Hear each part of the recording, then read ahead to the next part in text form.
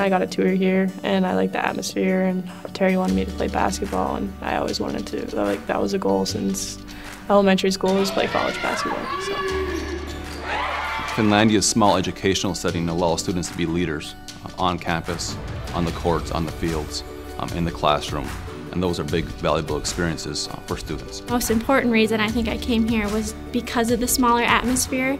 I really wanted to be able to work with students and work with my professors more closely and not really be a face in the crowd at a lecture hall. And that's what I looked forward to at Finlandia was knowing the instructors, like them knowing my first name.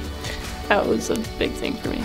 The Finlandia University International School of Business offers a unique educational experience that gives a student the necessary theoretical framework in business education, while at the same time focusing on experiential learning that will give the student the practical skills and experience that are demanded by businesses operating in today's global environment.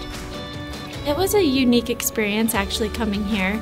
Everyone was very accommodating. The admissions office, when I was transferring in, was able to get pretty much all of my credits transferred.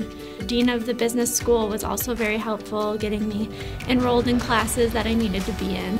Carley is an excellent example of a student who came looking for the small college experience. She was able to come here, complete her degree, get an excellent internship, and the result was she found a very good place of employment even before completing her degree here. And we work very closely with our students so that they can find an internship which will give them that experience and add to their resume and make them a very attractive graduate when they enter the job market. Even though I am going into marketing, that I have knowledge on accounting and I have knowledge on finance, I think that makes me a, a well-rounded young professional.